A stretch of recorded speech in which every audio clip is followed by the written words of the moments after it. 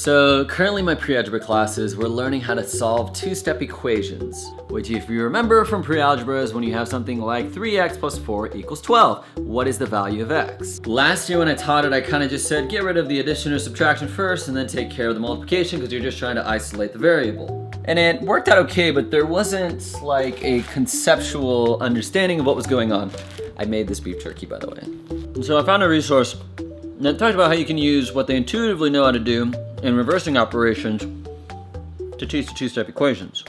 If I tell you to pick a number, multiply by two, and then subtract one, and then say, what is your final number? And you said uh, 11. Uh, students know to intuitively kind of reverse that process. Say, okay, if you multiplied it by two and then subtracted one, that means to get back to where I started, I'm gonna have to add one and then divide by two. I gotta undo what I did. Um, so that's the general premise. And so we're gonna call this math magic. I'm gonna start by having them play this math magic game and I tried it today and it worked fairly well where I'm just gonna have them actually notate the steps and then just whatever mental math they did. Then I plan on taking that process and having them show what it would look like in mathematical notation. We'll go from taking each one of these steps and turning it into mathematical notation.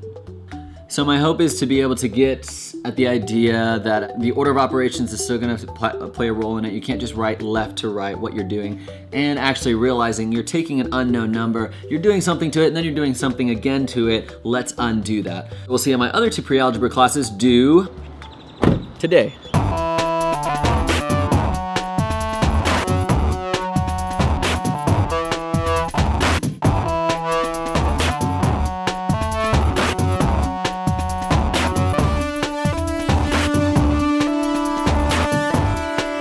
I think the only thing I'll do different is probably have that discussion between um, when you have the distributive property and when you don't, but it looks like you're using the same terms before I have them kind of practice on their own, making their own so they can see if they're checking it correctly.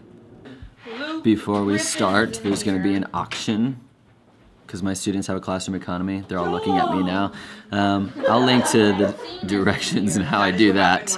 Um, but they're auctioning based on some of the money that they make in the classroom economy for items that an auctioneer brought.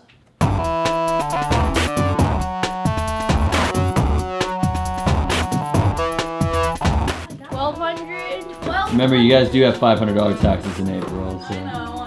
I know, I know. Sold to Theo. See, I would have gone down at the next hundred. Yeah, how much did you spend on that? At thirteen hundred dollars. You you pick a number and I don't know what you picked. How can I show that mathematically? Nine. X. Right? Okay. What? But we don't have to subtract. It's just like.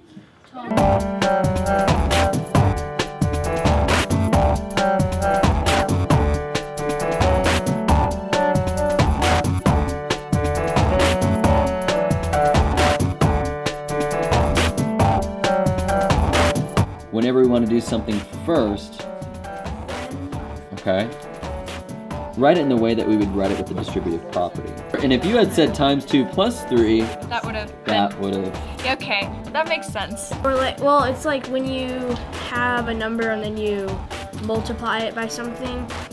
When you're solving algebraically, you have to then divide it. Mm-hmm. It- It's really hard to show that. Mm-hmm. it's hard to get them to buy in on actually writing it with mathematical notation. Lots of friction and pushback on writing on mathematical notation.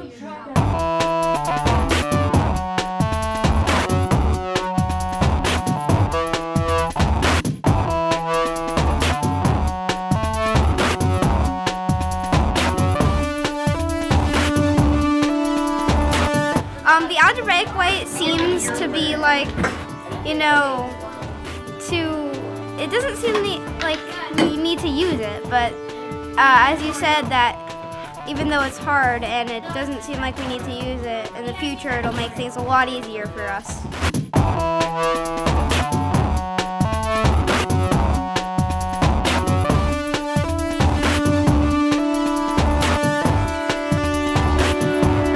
So there's definitely resistance to learning how to do mathematical notation.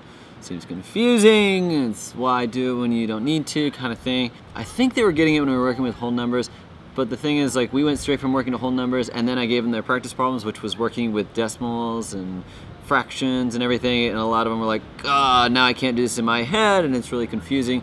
So I think I would probably scaffold that a little bit, maybe do a couple practice ones together with the decimals, but we'll see how this continues to play out. I think just more practice uh, is gonna make them feel a lot more comfortable with it so they can see what's going on.